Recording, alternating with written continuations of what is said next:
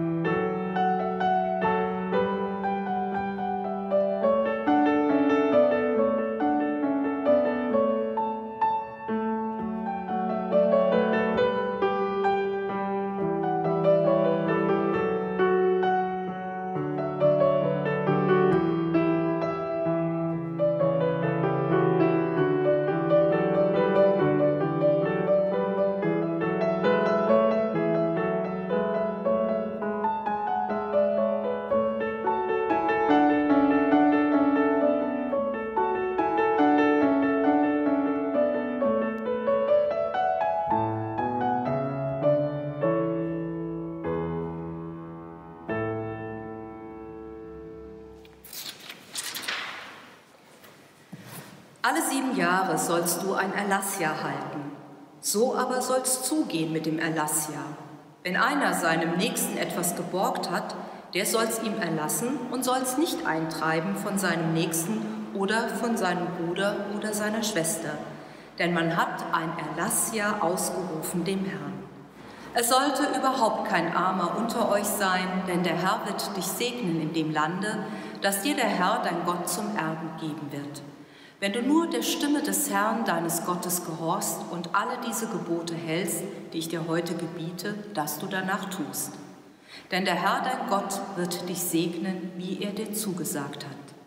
Wenn einer deiner Brüder arm ist in irgendeiner Stadt in deinem Lande, das der Herr, dein Gott, dir geben wird, so sollst du dein Herz nicht verhärten und deine Hand nicht zuhalten gegenüber deinem armen Bruder, sondern sollst sie ihm auftun und ihm leihen weil er so viel Mangel hat.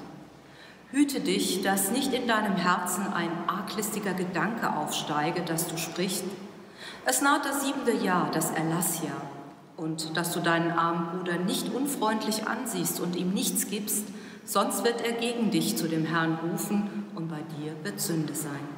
Sondern du sollst ihm geben und dein Herz soll sich's nicht verdrießen lassen, dass du ihm gibst, denn dafür wird dich der Herr, dein Gott, segnen, in allen deinen Werken und in allem, was du unternimmst.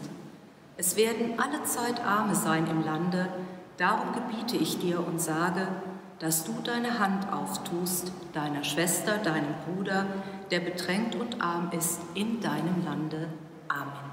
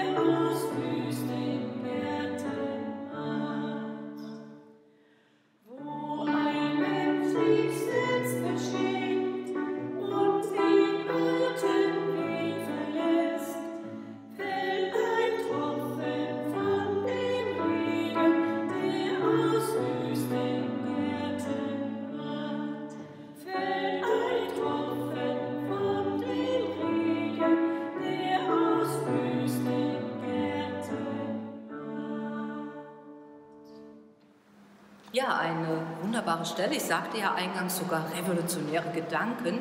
Und das im Zusammenhang des Vermächtnisses des Mose. Im fünften Buch Mose kommen wir nämlich dem alt gewordenen Mose ganz, ganz nah. Und so ist es ihm besonders wichtig, am Ende seines Lebens den Menschen, mit denen er so unendlich verbunden ist, das mitzugeben, was er von Gott erhalten hat. Und dieses Testament des Mose gipfelt zum Beispiel in unserem heutigen Text in dieser ja, Erfindung des Erlassjahres. Es kommt aus der Landwirtschaft, dieser Gedanke, dass nach sechs Jahren eine, ein Acker, ein Feld brach liegen soll, damit sich der Boden entsprechend erholen kann, sozusagen neue Kraft schöpfen kann, um dann in einem nächsten Jahr wieder bereit sein kann, um gute Ernte einzubringen. Und dieser Gedanke gipfelt wiederum in der Schöpfungserzählung. Wir erinnern uns, in sieben Tagen hat Gott die Welt geschaffen, ganz konkret an sechs Tagen. Und am siebten Tag hat er etwas Wunderbares getan.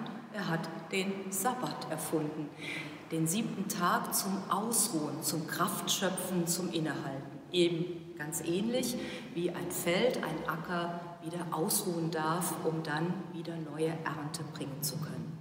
Und das wird jetzt wiederum im Vermächtnis des Mose weitergedacht.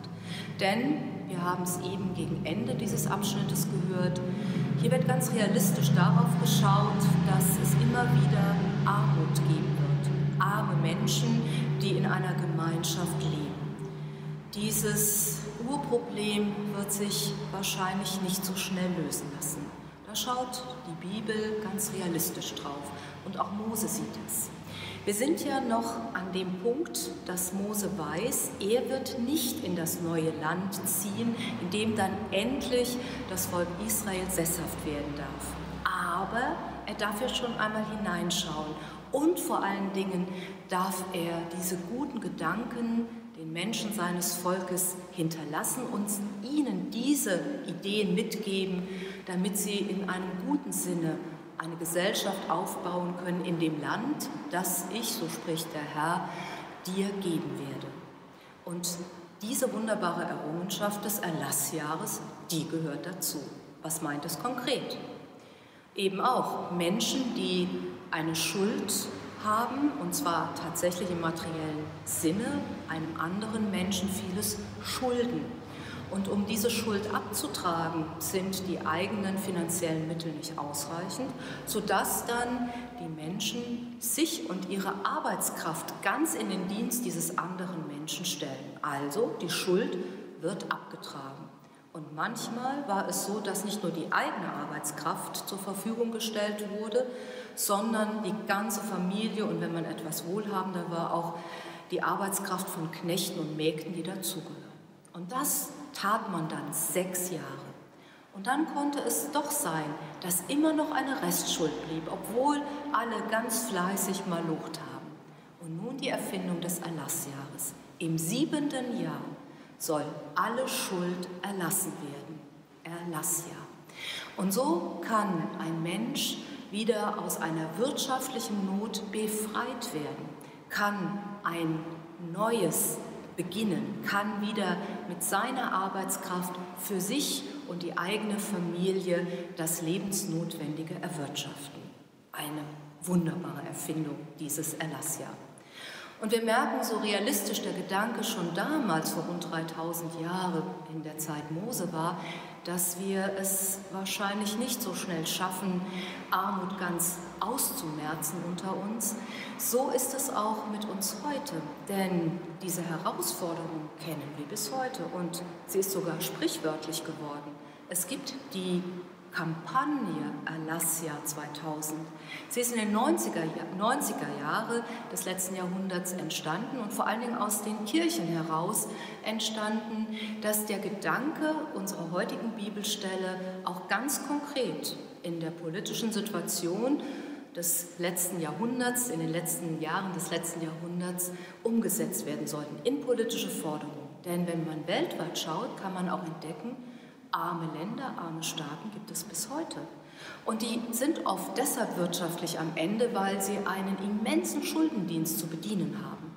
Und deshalb diese Aktion, wie gesagt, vor allen Dingen aus den kirchlichen Bereichen gestützt, hilft diesen, hilft diesen Staaten und den Menschen vor Ort aus der großen Schuldenlast herauszukommen, erlasst ihnen die Schulden und dann werden mit den frei werdenden Geldern wieder Projekte gefördert, die nicht in Korruption natürlich einmünden dürfen oder für militärische Leistungen benutzt werden dürfen, sondern für ganz konkrete Projekte, die die Armut bekämpfen helfen, nämlich zu investieren in Bildung, zu investieren in das Gesundheitssystem, zu investieren, dass Menschen kleine Kredite vermittelt bekommen, um sich eine eigene Existenz aufzubauen.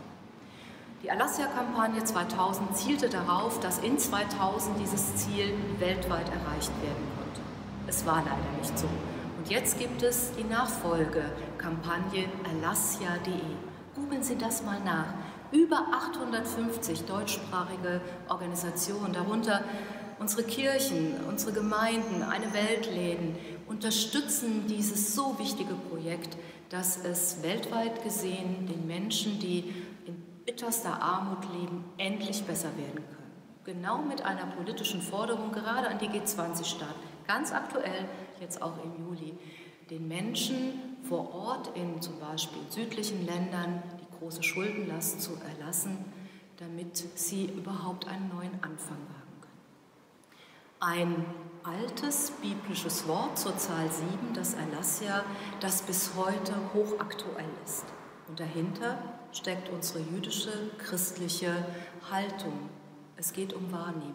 Es geht darum, wie es auch Mose den Menschen damals ans Herz legen wollte, den Nächsten, die Nächste nicht aus den Augen zu verlieren aufmerksam auch für das Schicksal anderer Menschen zu sein und ihnen ganz konkret aus ihrer Notlage zu helfen. Das ist Nächstenliebe. Das ist das höchste Gebot. Gott zu lieben wie deinen Mitmenschen, wie dich selbst.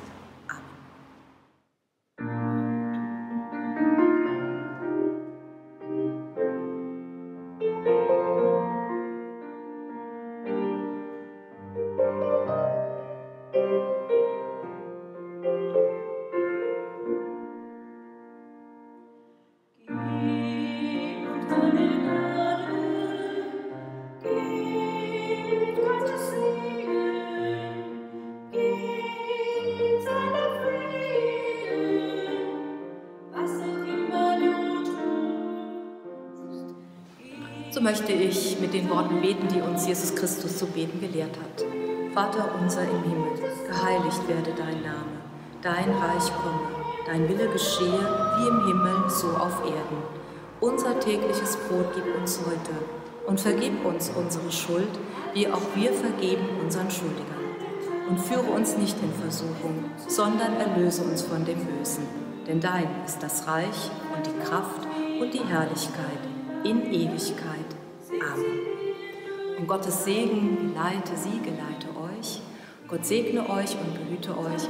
Gott lasse sein Angesicht leuchten über euch und sei euch gnädig. Gott erhebe sein Angesicht auf euch und schenke euch seinen Frieden.